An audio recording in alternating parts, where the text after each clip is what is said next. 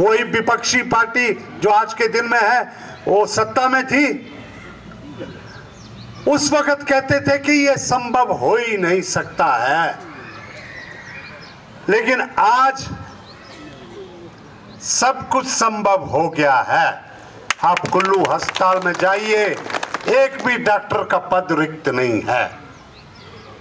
आज कुल्लू अस्पताल में, जहाँ एक भी अल्ट्रासाउंड का डॉक्टर नहीं होता था इस वक्त दो डॉक्टर है। और आने वाले दिनों में इतनी आधुनिक मशीन वहाँ पे लग जाएगी कि किसी को अल्ट्रासाउंड के लिए बाहर जाना नहीं पड़ेगा। कोई अपने शौक से जाता हो, कोई शौक से फोर्टिस हॉस्पिटल जाना चाहता है, कोई शौक से अपना, अपने आप को प्राइवेट हॉस्पिटल में जाना चाहता है, हम उनके शौक को रोक नहीं सकते।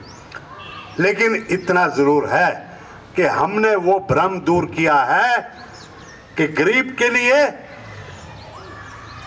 हमारे जैसे ठाकुर सुखविंदर सिंह सुक्खू जी ने कहा है कि हम सत्ता में, सत्ता सुख के लिए नहीं, हम व्यवस्था परिवर्तन के लिए आए हैं। ये मैं आपको फिर से दोहराना चाहता हूँ।